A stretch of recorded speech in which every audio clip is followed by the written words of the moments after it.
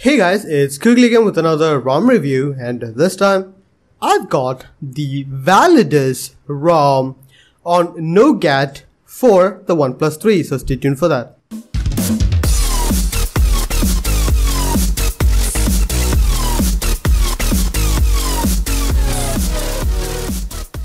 So guys, now Validus ROM you might know these guys. These are from Ground Zero team and it is a very interesting ROM. I really like this because they have a lot of features. Uh, they have other ROMs also, uh, namely Tesla, which is amazing. I really do like Tesla ROMs. About Validus ROM, you probably have heard of these guys because they have a lot of ROMs and they are a development team called Ground Zero ROMs and uh, it is an amazing set of ROMs. So let's get started with Validus. Now what is this one?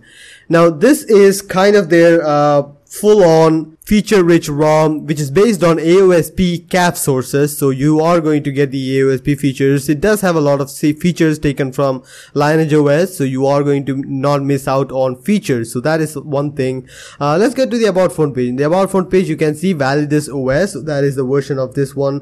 Uh, Validus OS release V13 so that is the version. Uh, it is released on 13 1 2017 so that is the latest version which I could come up with. Uh, you can go over and see their uh, Google Plus page where all the updates are posted. So that is all there. Um, as you can see, this is based on Android 7.1.1. So that is the latest one. Really amazing. Security patches are January. So that is the latest and greatest. You do have uh, build status. SE, SE Linux status is permissive. So that does info, that does give you more features to change and more things to tweak in the final product. So you do have that. So let's get to the other stuff now. Validus is their feature oriented ROM. So you are going to get a lot of features in here. So let's get to the features. Now, first of all, all the features are the first option called Wolf's Den and you are going to get all of that. Uh, let's get started. Now, first of all, in the system options, you do have animation control, which is from AOKP. So you can change pretty much every bit of animation on this ROM. So that's pretty cool. You do have list view animation customization. Scrolling preference can be customized to uh, force enable, force disable, and also also default enable or disable so you do have that.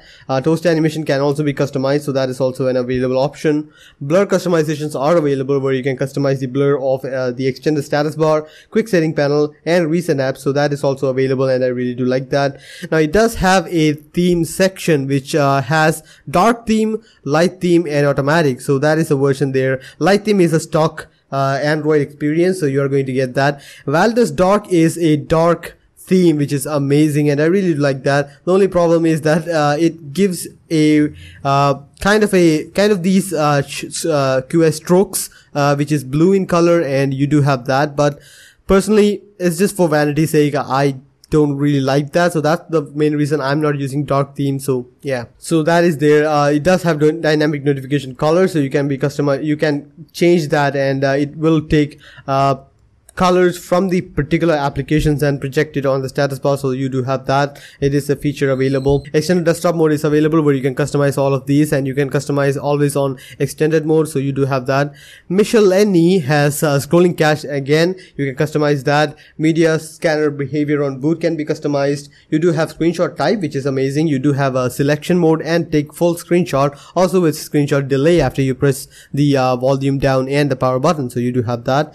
Power menu animation uh, advanced reboot or hide on lock screen is also available. Dim background by this much amount all that is available and all of these options can be customized. It does have on the go which is a really amazing feature. I do really like on the go. It does work out really well. In the lock screen options you do have weather options where you can customize the weather. You can even disable the weather if you don't want that. What is that? It is uh, this weather option which is there. Uh, works out pretty well. Uh, I like the weather option and well basically C-clock option on other ROM like Resurrection Remix because it also gives you the battery information which is pretty amazing. I really do like that. Visualizer setting is available where you can enable or disable the visualizer whenever the music is playing on the lock screen and that is there. Customize the color is also available which is pretty cool. Uh, media cover art is also there. Hide clock, hide date, all of these options are available. Lock screen torch also pretty much amazing. In the status bar options you do have status bar items where you can customize all of these. You can even enable the cute Validus logo there. Uh, that is something which you can do. Also, all of these can be enabled or disabled as per your liking. So that's there. Status bar weather temperature can be enabled if you want that.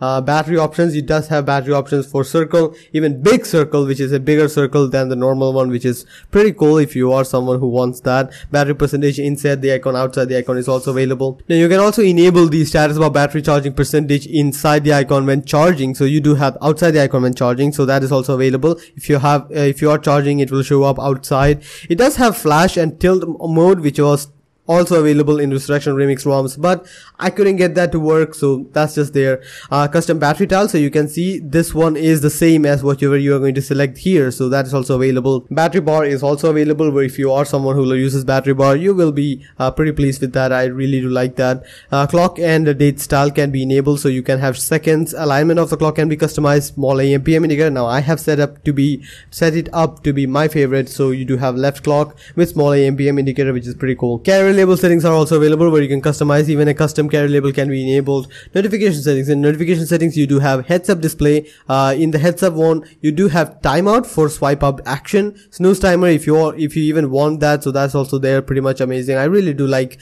uh, the timeout feature is really cool. And i really do like the two second timeout because sometimes whenever you're watching a video or something like that if you get a long message it just covers up half of the screen. And i just want it to be gone uh, faster. I don't want to swipe it away because i do like to see the notification after some time so that's just there.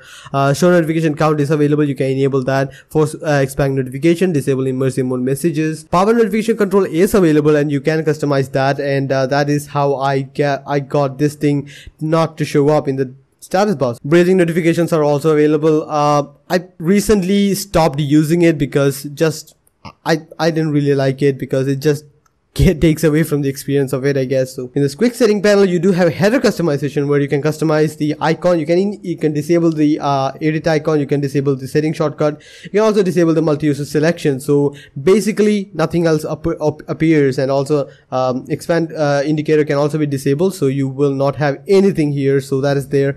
Also, you can have center date and time. So that does give you a little bit more cleaner interface so yeah that's just there. Disable quick setting uh, when in lock screen uh, brightness slider brightness slider icon can also be enabled so you do have that. Uh, also quick pull down can be enabled. Quick setting uh, tiles can be enabled EC toggle. Now something which I really appreciate is the scroll small quick setting tiles. So that is an ode to the older versions of Android uh, on other uh, custom softwares like TouchWiz and all that. So you do have the access of full quick setting panel which is this one on the small quick settings. So you do have that and I really do like that. Um, I wish more ROMs will take that into account. I'm not entirely sure if that is a commit change on Lineage OS or any other uh, AOSP ROMs uh, perspective, but this ROM does have it and I really do like that. It also has a traffic uh, bar indicator on the status bar and I do have it enabled. That does work out really well. A double tap to sleep also available for the status bar.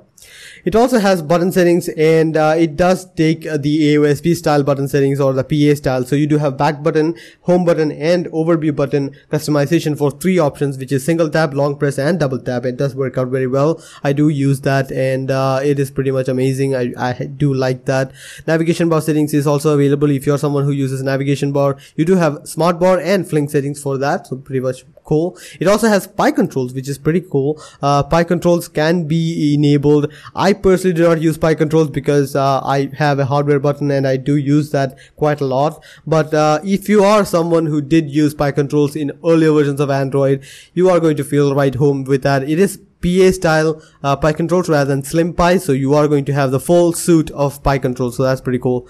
Multitasking, it does have OmniSwitch B and it, it is basically an AOSP ROM. So you do have uh, OmniSwitch and also recent button can also be customized. You do have enable clear all button, so which is pretty cool. You do have that, and also you can have the uh, location selection of that. Uh, also, you can d- uh, change the uh, AOSP recent mode to OmniSwitch, and you can customize that also. And it does offer a lot, lot of customization. So that is it in the Wolf's Den options, which is a specialty specialty uh, settings for this ROM. It does work out very well. I do use that. Apart from that, everything else is basically what you'd expect out of an AOSP ROM. So Sims work with the colors. That does work out that's pretty cool. Uh, in the display option you do have adaptive brightness you do have ambient display double tap to wake uh, all that is available. Battery charging indicator you do have option for four different states which is battery low charging more than 90% and charge 100% you do have that option also. Notification light can also be customized and it does have these options. It doesn't have an automatic mode but it does work out. It does uh, normally take the automatic color of the application it does work out. And also the ever so important uh, font size and display size can also be customized and uh, I do really like that. Now the battery life. Now today I was not at the college so that's not the normal battery cycle which I go through but I believe the battery cycle which I went through today is more indicative of a normal use case scenario where the signal is not entirely dead and you still have a little bit of uh, fluctuation between that. So you can see uh, my phone was awake a lot because I was using a hotspot because I wanted to use map on a different phone. So that's that's how I went about the day. Uh, I did have Bluetooth connected with most of my stuff. It does work out very well. I didn't have any issues with that. So you can see the battery right now. Uh, at the end of the day, I got about 40% of battery, which is pretty good. Uh, I do appreciate the battery life which I get with that.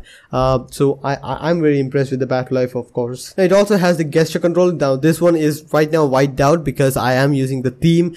That does mess with a few things, but this does have substrate support, so you are going to be able to theme do your heart's content to with any other theme which you like. So that's also available. Now this is for the double tap. Uh, power button for camera functionality. You can enable or disable that. Oneplus Doze is available for hand wave and pocket mode so that is also available which is basically the ambient display sensor.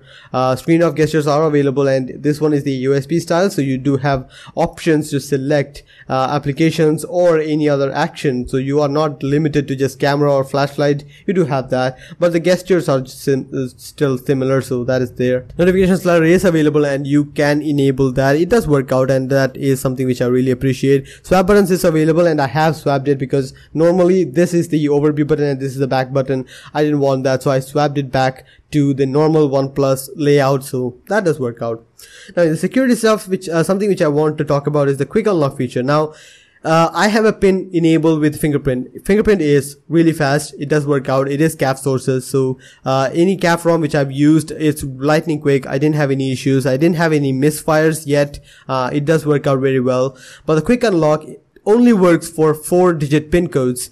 Uh, I have a six digit pin code and I had to go to, uh, I, I didn't really read this and I had to go to touch, uh, TeamWin recovery and delete the lock screen, uh, .db file to get back into my ROM. So keep that in mind. If you have a pin code more than four digit, well, you probably can't use quick unlock. So that's just there. Apart from that, everything else is basically same. In the developer option, uh, you do have all the features which you would expect. Stay awake is available, OEM unlock, uh, RGB mode is available but doesn't really work. Uh, I don't really use that. Uh, ADB mode all that is available. Automatic system updates that is a Lion feature I believe so that's not there. Um, also the animation scale is set at 0.6 so that is also available. And it is a scale rather than just uh, selection. So that's something which I really like, and you do have uh, control over it, and I really like that. That's something which I really do appreciate from other ROMs, which only gives you a selection screen. So I guess that much is it in the settings menu. Um, Antutu benchmark score again. What you would expect out of a, an AOSP CAF based ROM, about 152,000 or 154,000, uh, depending on the time of the day, I believe. More than 150,000 is a guarantee, so you are going to get a good amount of battery life uh, and good amount of uh, performance out of it. Uh, battery life kind of there, but in my experience, it is almost similar to a Lineage OS 14.1 ROM, so nothing special there. Uh, apart from that, uh, there aren't many stuff there. Uh, it does I mean, in typical ground zero fashion, it does have the uh, kernel tweaker, which from the ground zero ground zero rom uh, development. So you do have that kernel tweaker. So you can see that gzr kernel tweaker is available and you can customize that. Uh, it is the older version of that. So you do have gzr Kernel Adiutor and you can do a little bit of finagling with that. Let me show you guys the boot animation which is pretty cool. So here is the boot animation for the ground zero roms Validus ROM and uh, yeah here is the boot animation for Validus which is a wolf themed uh, which is basically a dark wolf themed uh, ROM and that does uh, portray very well into the boot animation which is pretty cool. I really, really do like that. And there you have it validus. So yeah that should be it about the rom. Um, it does have the CyanogenMod camera so uh, everything does work out. Apart from that there's no eco problem gps still a little bit flaky that's another thing which you have to uh, consider when using an AOSP CAF based ROM. There are issues, but again, in conclusion, I would like to say that this is a fairly stable daily driver for anyone who likes performance and anyone who likes a lot of features. Uh, there are other ROMs uh, on this palette also like the Resurrection Remix which I use as a daily driver because it does have features to boot. It does give you a little bit good battery life and it is a performance oriented ROM. You can customize that. So it is kind of hard deciding between these ROMs. I still use Resurrection Remix because I have my backups on Resurrection Remix. So every time the ROM is uh, updated, I just need to restore my backup and I'm good to go. So that's the only reason I'm using that ROM till now. So I really like that. It is a very very impressive ROM. I guess that should be it about the ROM then. Hope you guys liked the video. Please share, subscribe, and like the video if you found it useful. See you guys next time. Bye.